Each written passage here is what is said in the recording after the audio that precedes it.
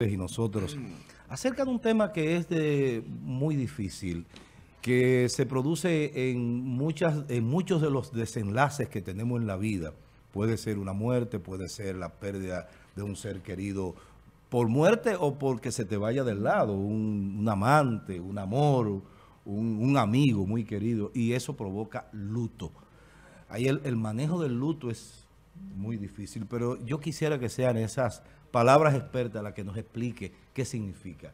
Buenos días, doctora. Muy buenos días. Bueno, es para mí un gusto estar de nuevo acá en cámaras y quiero empezar esta parte eh, con un caluroso y un abrazo fraterno a todas las familias que en este momento estamos en duelo. Estamos en duelo no solamente por la muerte de nuestros cinco jóvenes, sino porque también en nuestra ciudad han fallecido varias personas, entre esas, como ustedes saben, hace ocho días mi pareja Martín Chanel de la Cruz. Así que en este momento es muy importante que una ciudad que esté en duelo aprenda a cómo trabajar en duelo. Y en esto incluso quiero iniciar uniéndome, eh, digamos, estando de acuerdo con el comentario que anteriormente hacía Francis con relación al manejo que tenemos que hacer. Entonces, eh, la prudencia es el primer llamado, la prudencia. Y el entender que los procesos de duelo son procesos de duelo que cada persona vive de una manera distinta. Entonces, primer error que cometemos es decirle al otro no llores o por qué lloras o por qué te pones ropa de color, porque entonces tenemos que romper esquemas, ¿cierto?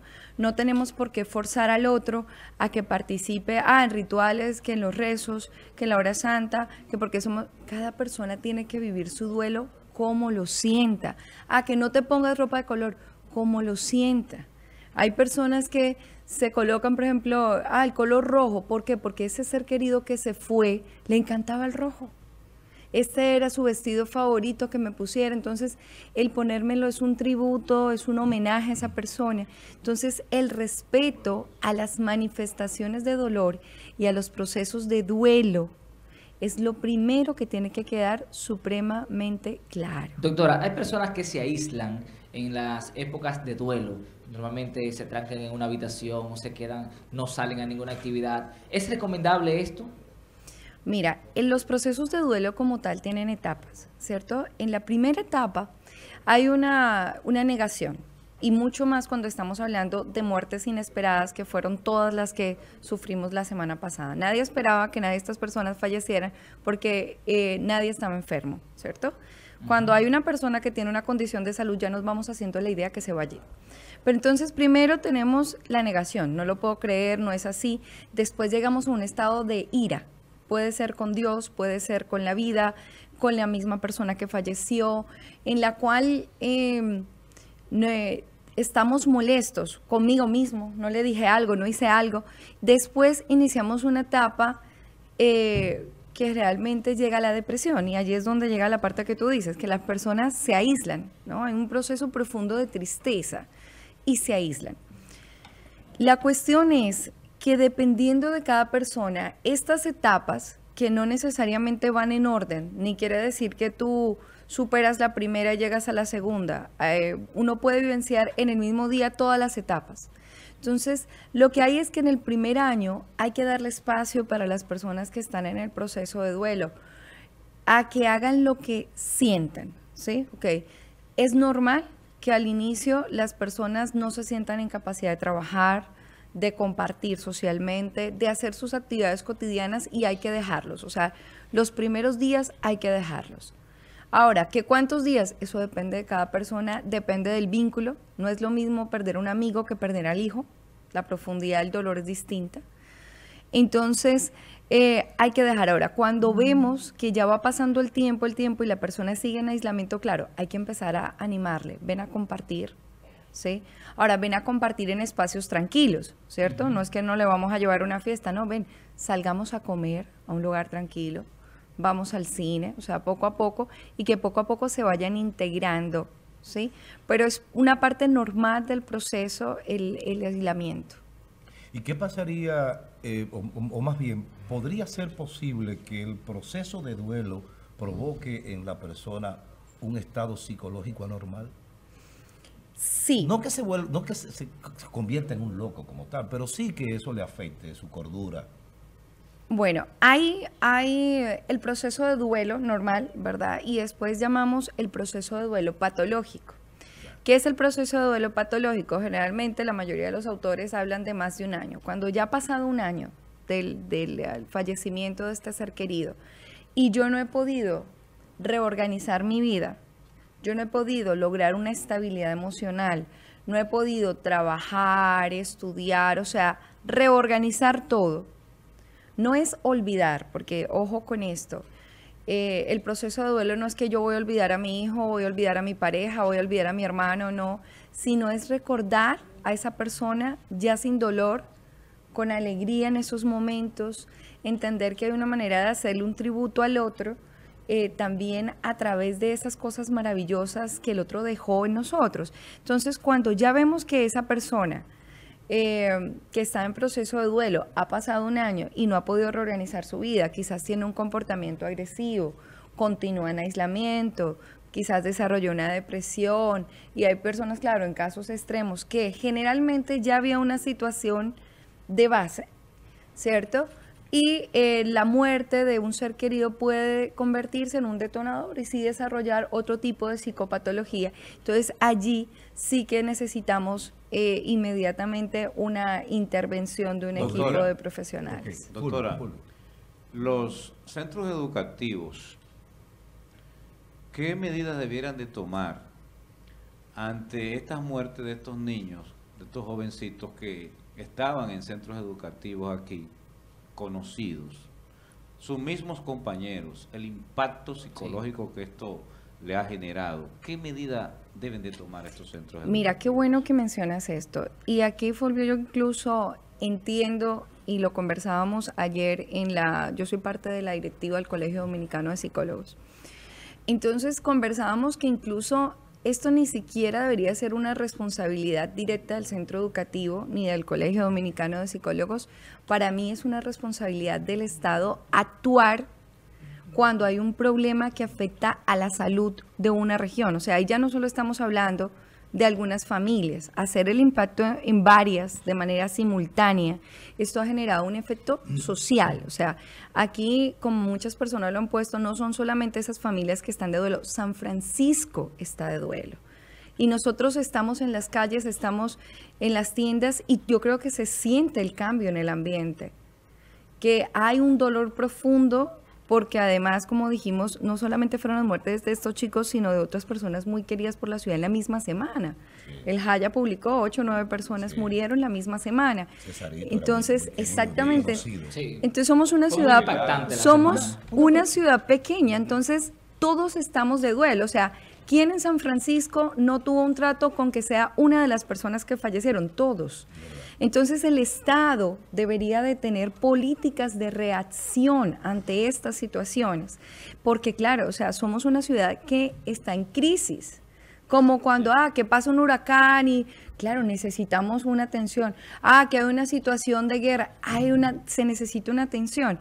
Estas instituciones, eh, tengo entendido que la Altagracia ya está realizando intervenciones psicológicas, por lo que pudimos averiguar el día de ayer, pero incluso el Colegio Dominicano de Psicólogos y en este caso esta servidora también, asociada a Infote, estamos eh, ofreciendo el apoyo que requieran las instituciones, eh, para, porque hay que hacer procesos colectivos de duelo, o sea, hay que hacerlo.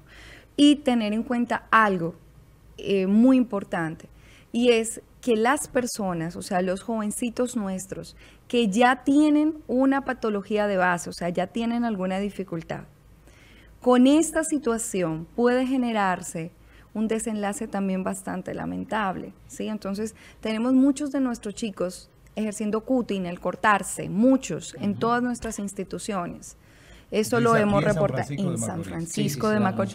Tenemos autolesionismo, ¿no? Sí, tenemos incluso grupos de Facebook que los invita y que los organiza en instituciones públicas y privadas. Entonces, esto que pasó con nuestros chicos puede empeorar la salud mental de estos jóvenes nuestros que de por sí ya están afectados. Eh, doctora, buenos días. No quise, eh, dejé como acababa de dar mi punto de vista respecto a un aspecto post eh, triste hecho que no ha enlutecido a todos. Mi, yo en ocasiones le he dicho a usted, usted recuerda en otros programas, yo creo que nosotros, la Asociación de Psicólogos debe de hacernos un análisis a todos, en general al país, por los tantos hechos. Pero yo le quiero preguntar, ¿qué recomendación me hace cuando yo, como, como amigo, como ciudadano, me acerco a una persona que está pasando por esa tristeza? ¿Qué puedo yo decirle como amigo, como, un... Lo que he atinado es abrazar, llorar, sin tener una reflexión que mínimamente le levante el ánimo.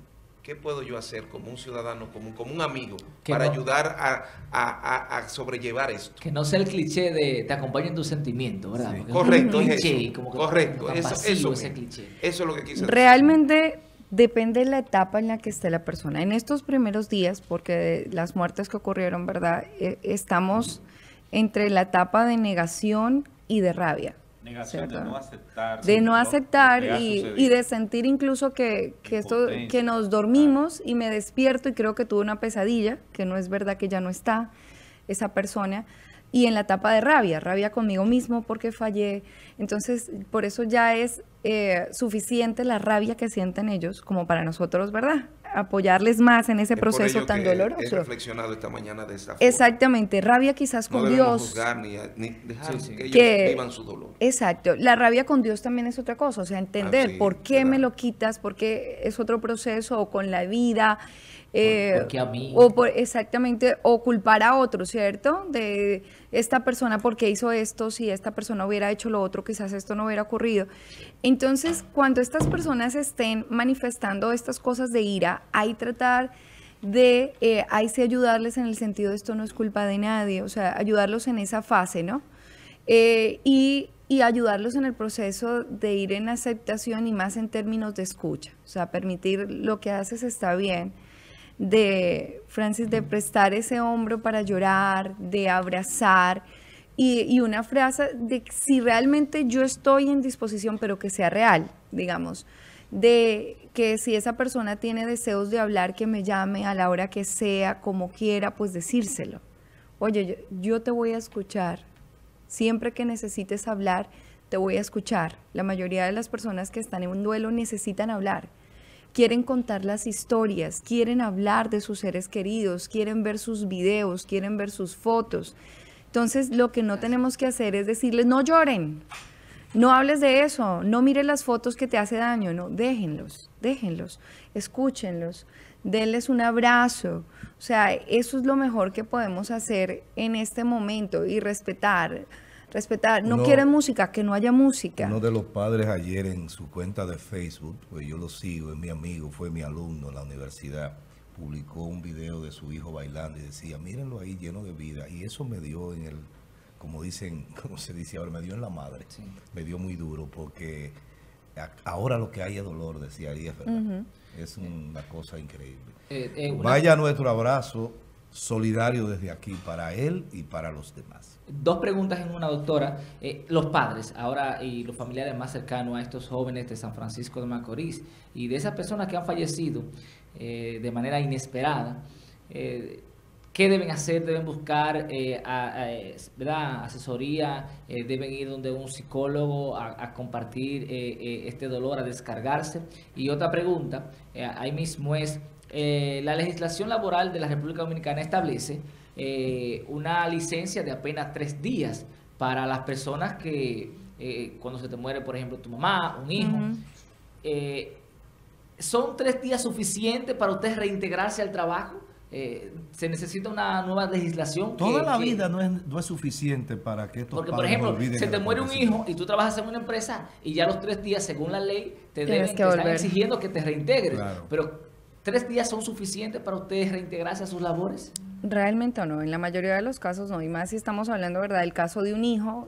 Ustedes saben, las, las muertes más difíciles que uno puede tener, la de un hijo, la de los padres, desde luego, eh, y, y la, la, de la pareja y, y, los hermanos. En este tipo donde el vínculo es primario, es fuerte, realmente tres días no son suficientes. La mayoría de las empresas otorga unos días de vacaciones, en algunos casos licencia no remunerada, porque saben que estas personas no están realmente en capacidad. Con relación a los padres, teniendo en cuenta la sorpresiva muerte de estos chicos, yo entiendo que estas familias sí deben de tener un acompañamiento. Eh, y ojo con esto, los hermanitos de estos niños, porque, claro, los padres en su dolor no van a tener capacidad de reacción ¿sí? Yo estoy tan sumido en mi dolor que no reacciono, no, no tengo la capacidad de cuidar al otro. Y aquí eh, yo quiero hacer un llamado, algo que he dicho muchas veces eh, en los años que llevamos acá en De Mañana, y es que así como cuando una persona, eh, por ejemplo, le dieron un balazo, usted le pregunta a la persona, ¿usted quiere que yo lo lleve al médico? ¿Usted quiere que le hagamos cirugía? Usted no le pregunta eso y aunque la persona esté gritando que yo no quiero ir para ningún lado, no sé qué, usted lo lleva. Así se ha amarrado, pero usted lo lleva. Entonces las personas, cuando le dice uno, oye, necesita ir a psicología, necesita psiquiatría, necesita trabajo interdisciplinario, no es que no quiere ir. Es que si la persona no tiene salud mental en ese momento, no tiene la estabilidad, no está en capacidad de tomar la decisión por sí sola de si necesita o no ayuda. Entonces, por eso es una responsabilidad social, incluso no solamente de la familia, o sea, de todos nosotros, del vecino, del amigo, del familiar, de la institución educativa, del trabajo, oye, de exigírselo. Yo que trabajo en las empresas se lo digo, cuando detecto un problema le digo, oye, dile que o va a buscar ayuda o a la empresa no puede volver. O sea, hay que forzar un poco. bueno, ya, ya mira, estamos contra el tiempo. De, preguntarle, ¿cómo perciben ustedes si es un problema, si ya están tomando eh, cartas sobre el asunto? Me refiero a ustedes como sociedad de psicólogos o asociación. Colegios. Colegio, colegio, perdón. Colegio de psicólogos dominicanos. El tema de la influencia redes sociales.